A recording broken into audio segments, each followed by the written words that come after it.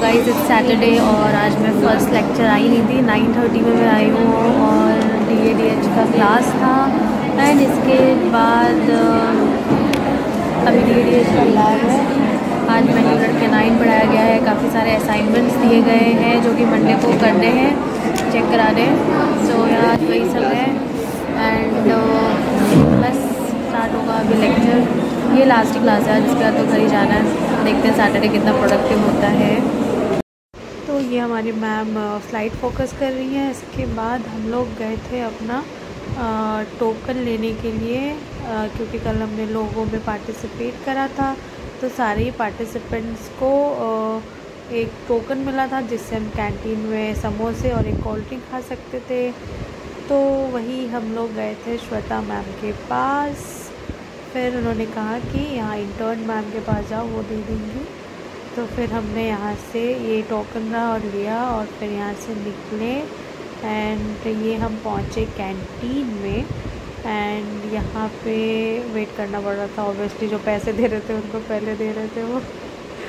And उसके बाद ये रहा प्रतीश और ये इसको भी टोकन मिला था ऑब्वियसली फिर हमने यहाँ से टोकन देने के बाद उन्होंने हमें दी।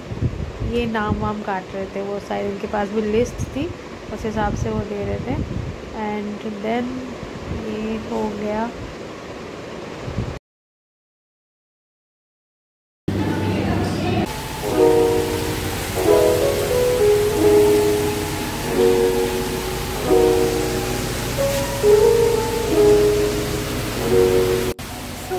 मैं कॉलेज से आ गई लंच करा एंड अभी बहुत तेज़ बारिश होने लगी है एंड लाइट कट गई है। इतनी तेज़ बारिश हो रही है एंड बड़ी मुश्किल से मेरा ये इन्फेक्शन सही हुआ है एंड ये बारिश के चक्कर में फिर सर्दी ना हो जाए एंड तबीयत ख़राब ना हो जाए। बहुत ज़्यादा ही तेज़ बारिश हो रही है वैसे एंड लाइट चली गई है। मन कर रहा है, सो जाऊँ। तो मैं सोच रही हूँ कि मैं थोड़ी देर सोऊँगी अभी एंड फिर शाम को उठ के फिर देखते हैं क्या पढ़ने का बहुत सारे असाइनमेंट वगैरह मिले हैं तो वो सब चीज़ करना रहेगा हमें। तो गाइस मैं सो गई थी काफ़ी देर तक क्योंकि यू नो आजकल तबीयत इतनी अच्छी नहीं लग रही तो रेस्ट ले रही हूँ थोड़ा ज़्यादा। एंड सो के उठी हूँ और फिर मार्केट गई, सूजी लाया एंड दीदी ने ये चीला बनाया है। तो अभी मैं वही खा रही हूँ, इसके बाद फिर कुछ पढ़ना स्टार्ट करेंगे। या मैं डिनर कर लेती हूँ फिर। सो so, गाइज़ अभी पढ़ना स्टार्ट करते हैं क्योंकि बहुत सारा वर्क मिला है। अभी डी ए डी एच का होमवर्क है। लॉन्ग क्वेश्चन करने हैं दो और भी कैनाइंस के। जिसमें हमें डिटेल में कैनाइन के बारे में लिखना है मैक्सिलरी कैनाइन के बारे में और फिर डिफरेंस लिखना है mandible maxillary and mandible canine का डिफरेंस करना है। तो वही मैं अभी लिखूँगी और ये कर लूँ मैं और इसके ऊपर मुझे वाइवा भी पूछा जाएगा तो उसके लिए भी रेडी होना है। ये ठीक हो गया बट थोड़ा सा स्किन निकल रहा है, अभी भी थोड़ा अजीब लग रहा है सॉरी फॉर दैट सो यहाँ स्टार्ट करते हैं स्टडी एंड सैटरडे इसी तरह बीत रहा है।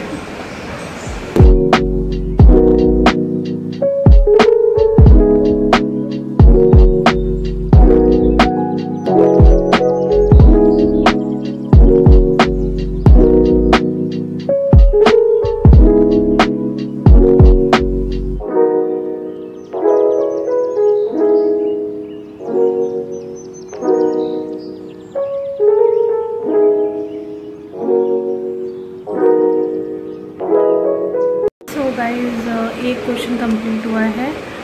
डिटेल में सेंटर डिटेल में मैग्जनरी कैनाइन हमने किया है परमानेंट मैग्जनरी कैनाइन जो कि टेन पेजेस पर कंप्लीट हुए हैं morphology of root and crown अलग अलग करके। So I think fifteen marks का क्वेश्चन है टेन पेजेस तो लिखना बनता ही है तो वो अभी जाके ख़त्म हुआ है, अभी ट्वेल्व ट्वेंटी टू हो रहे हैं।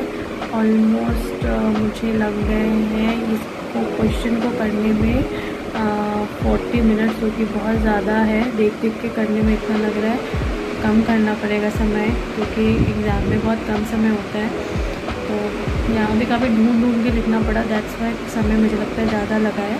एक बार पढ़ के फिर लिखने में हो सकता है कम लगे और सब कुछ वैसे भी याद भी नहीं रहता तो बहुत कुछ स्किप हो जाती है एग्ज़ाम में तो, तो यहाँ अभी ये चीज़ ये है। सो गाइस नेक्स्ट क्वेश्चन है अपने पास कि describe all the differences between maxillary and mandibular canine जो कि एक और लॉन्ग क्वेश्चन है 15 मार्क्स का। तो ये अभी मैं करूँगी। सो यहाँ स्टार्ट करते हैं इस क्वेश्चन को।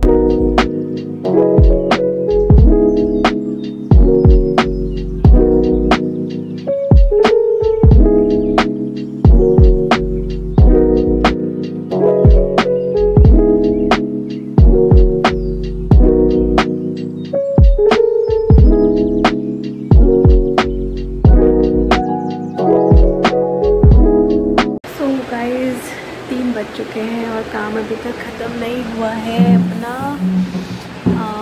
मैंने एक चैप्टर का कर लिया था कनाइंस वाला दो क्वेश्चंस और फिर हमने एक पल्प वा, वाला चैप्टर का एक 15 मार्क्स वाला क्वेश्चन करा है। एंड अब मैं शॉर्ट नोट्स कर रही हूँ। चार शॉर्ट नोट्स है पल्प वाले चैप्टर के।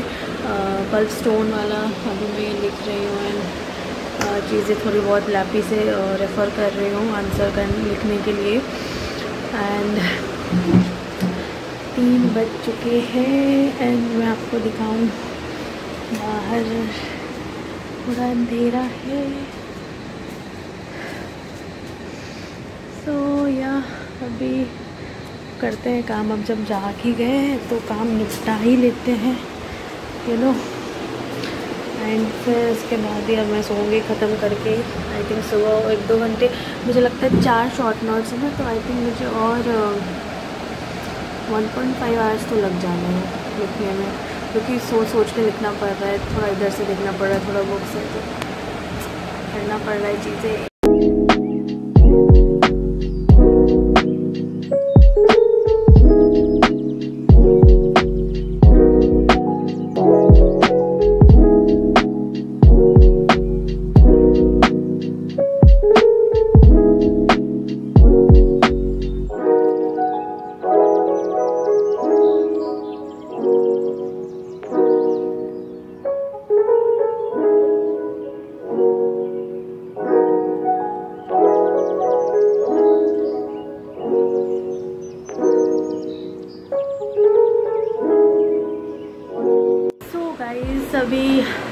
बज के fifty seven minute three fifty seven हो रहा है, यानी ऑलमोस्ट चार बज गए हैं। अब जाके मैंने कंप्लीट किया, एक एक शॉर्ट नोट्स रह गए, क्योंकि उसके आंसर मुझे ठीक से क्लियर नहीं हो रहा है। एंड मुझे बहुत तेज़ लगती है भूख तो मैंने दीदी को बोला था कि एक्स्ट्रा चीला बना के रखने को, और ये एक चीला है, और ये अभी मैं खाऊँगी, और उसके बाद सो जाऊँगी। अब, क्योंकि अब बहुत ज़्यादा हो गया रेस्ट करना ज़रूरी है। मंडे को अनाटोमी का टेस्ट है तो कोशिश करेंगे संडे को पढ़ लेने का, यानी कल उठ के पढ़ने की कोशिश की जाएगी। बहुत सारी टॉपिक है और कुछ भी पढ़ाई नहीं है तो रिवीजन की तो बात दूर की है। देखते हैं कल क्या कर सकते हैं। फ़िलहाल ये खा, खाएँगे और उसके बाद सो जाएँगे। तो इसी के साथ इस ब्लॉग करेंगे। यही पेंट काफ़ी दिनों के बाद मैंने स्टडी ब्लॉग काइंड ऑफ़ चीज़ बनाने की कोशिश की। आई थिंक जब मैं नीट की प्रिपरेशन करती थी, तभी इतना मोटिवेशन रहता था कि रात तक जाग के पढ़ो and all pulling all nighters ये सब करती थी मैं।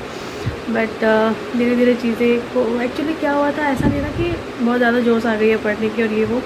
आई थिंक इस कुछ दिनों से बहुत ज़्यादा अनप्रोडक्टिव रही हूँ मैं, तबीयत ख़राब हो रही बार बार तो मैंने सोचा कि थोड़ा बहुत कर लेते हैं चीज़ें, क्योंकि इट इज़ इंपॉर्टेंट अभी ना, चीज़ें, चीज़ों को करना और थोड़ा अच्छा फील होगा मुझे। कि मैं चीज़ें कर रही हूँ एटलीस्ट एफ़र्ट्स कर रही हूँ बिकॉज़ बहुत ज़्यादा अनप्रोडक्टिव होने के बाद बहुत सेल्फ डाउट होने लगता है कॉन्फिडेंस बहुत ज़्यादा लो हो जाता है तो इसीलिए ठीक लगा ये। और संडे भी था तो शो भी सो जाऊँगी अभी कुछ छः घंटे नींद लेके उठूँगी तो या, अगर आपको मेरा ये एफ़र्ट्स और मेरा ये ब्लॉग अच्छा लगता है, और अगर आप मुझे रोज़ देखना पसंद करते हैं तो definitely like share and subscribe अगर आप यहाँ नए हैं। एंड अगर आप पहले से मुझे जानते हो तो उस वीडियो को लाइक करना बिल्कुल मत भूलना एंड कमेंट्स करना अपने प्यारे प्यारे कमेंट्स मुझे पढ़ना बहुत अच्छा लगता है। एंड या uh, yeah, मिलते हैं कल शाम छः बजे फिर। बाय